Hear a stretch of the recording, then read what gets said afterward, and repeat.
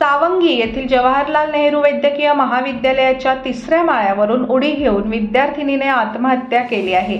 या घटनेच्या चौकशीसाठी माजी कुलगुरू डॉक्टर राजीव बोरले यांच्या अध्यक्षतेखाली तीन सदस्यांची समिती गठीत करण्यात आलेली आहे. या समितीकडून आत्महत्येची चौकशी करताना विद्यार्थ्यांच्या अडचणी जाणून घेतल्या जाणार असल्याची माहिती मिळाली आहे. नागपूरमधील पूजा अरुण राजनी ही सावंगी मेघे येथील महाविद्यालयात M S M B B एसच्या द्वितीय वर्षाला शिकत होती. परीक्षा असल्यामुळे हॉल तिकीट घेण्यासाठी ती कार्यालयात गेली होती. महाविद्यालयात पंच्याहत्तर टक्के हजेरी नसल्याने तिला परीक्षेला प्रतिबंध करण्यात आला. यानंतर गुरुवारी दुपारच्या सुमारास तिने महाविद्यालयाच्या इमारतीवरून उडी घेतली. यात ती गंभीर जखमी झाल्यामुळे रुग्णालयात दाखल करण्यात आले. मात्र उपचारादरम्यान पूजाचा मृत्यू झाला. या घटनेमुळे तणावाची परिस्थिती निर्माण झाली होती. विद्यार्थ्यांनी या घटनेमुळे कॉलेज प्रशासनाविरोधात रोष व्यक्त केला आहे.